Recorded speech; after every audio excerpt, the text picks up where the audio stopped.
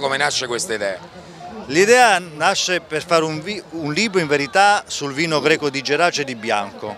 Poi ci siamo accorti che eh, sostanzialmente non c'era moltissima letteratura, allora abbiamo tentato di osare su un argomento che come sappiamo è conosciutissimo e è stato scritto di tutto. Abbiamo abbinato una storia tra le storie, partendo appunto dalla Bibbia dove il vino è protagonista, con una carrellata di quadri che vanno dal periodo medievale fino all'arte contemporanea per come gli artisti, da Michelangelo a Caravaggio a Degas, a Klimt, hanno voluto proprio dedicare al vino una parte della loro arte, fino all'intelligenza artificiale perché è stato già prodotto un vino totalmente da un algoritmo. Come? È stato creato in Francia sulla base di una serie di appunto, calcoli che hanno previsto una eh, registrazione di 850.000 immagini e 350.000 informazioni.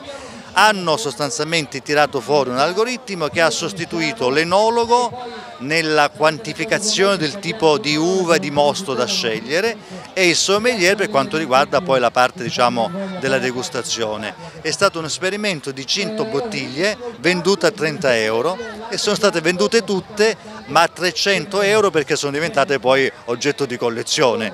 Nel suo libro dà molti numeri anche su chi produce di più, chi produce di meno, chi esporta, chi importa. Sì, l'Italia è diventata adesso il paese che, più, che produce più vino al mondo, mentre la Francia è quello che ne esporta di più.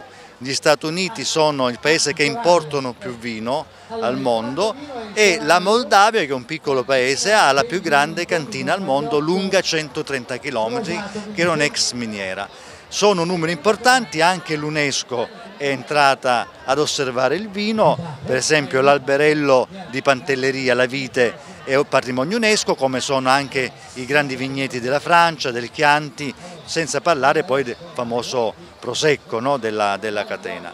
Sarebbe interessante spendere diciamo, come Calabria quella di diventare famosa nel mondo come quelli che hanno sostanzialmente inventato il vino moderno, perché proprio gli enotri, grazie appunto a questo sistema di coltivazione della vite, come l'abbiamo fatto noi in Calabria, hanno inventato un sistema moderno che i greci non conoscevano, perché i greci conoscevano la vite che, che cresceva naturalmente sugli alberi.